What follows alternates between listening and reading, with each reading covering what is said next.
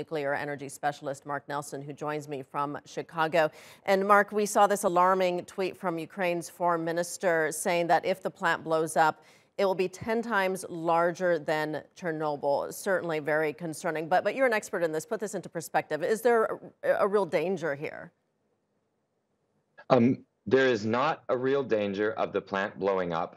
And to say that it could blow up and be 10 times worse than Chernobyl is, I'm afraid, completely false. All right, well, that is certainly um, reassuring. What kind of security or control measures uh, would be in place at a plant like this um, in the event of an attack, which is, is um, happening? Normally, we describe nuclear safety from the inside of the reactor out as in the nuclear fuel is contained within strong metal fuel rods, which is contained in a very thick, extremely strong reactor. And then that is inside an extremely powerfully built, very strong, very thick containment structure. But since we're talking about the reactor under attack, let's go from the other way.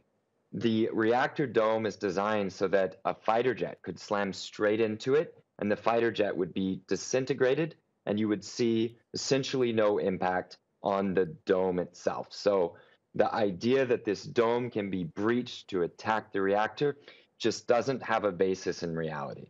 Okay, again, very reassuring to hear that. What is potentially the worst case scenario here then? Uh, would it this attack potentially knock out power to Ukraine? Is that likely to happen?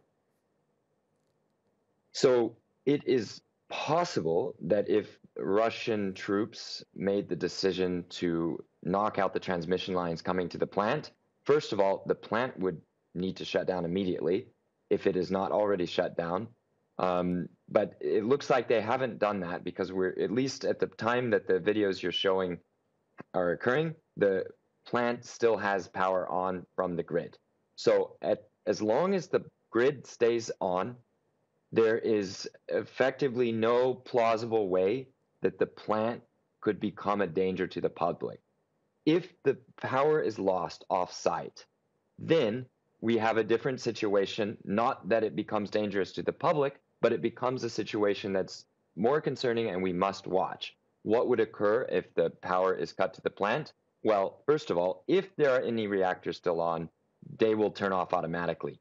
Even a shell or a bomb landing anywhere near the plant would trigger automatic shutdown from seismic safety. These are the this is the equipment that protects against earthquakes at the plant. So the plant would shut down.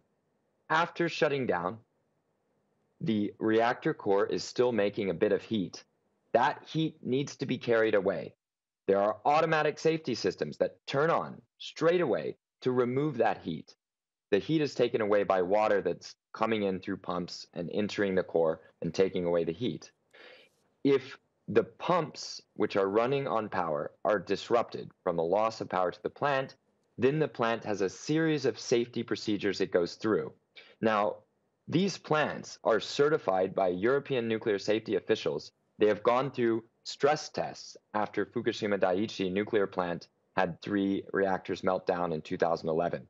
These stress tests were to confirm that if very bad accidents occur at the plant, if, if in an extreme earthquake happens, or if a total loss of offsite power and complete inability to supply fuel or people or help from outside the plant, the plant is still capable of protecting the public, keeping the core covered with water, and avoiding a meltdown.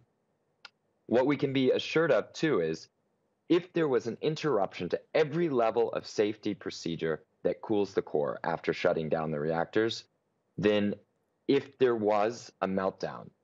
The maximum possible event is contained by the reactor pressure dome itself, by the containment dome that's so strong that even fighter jets running into it would not would not harm its ability to contain any radio, radioactive particles. So I have to say, though, it's concerning to us nuclear specialists to see a, a peaceful nuclear plant become a site of skirmishes between troops and plant security staff, it's not distressing to me because there's a worry of danger to the public. I'm watching, but I'm not worried about that. Instead, my concern becomes um, that I don't think I don't think that the plant staff is going to be able to operate at the absolute best potential when they're being fired upon. Yeah, that certainly makes a lot of sense. And thank you for putting that into some perspective for us. Uh, Mark Nelson joining us from Chicago. Thank you.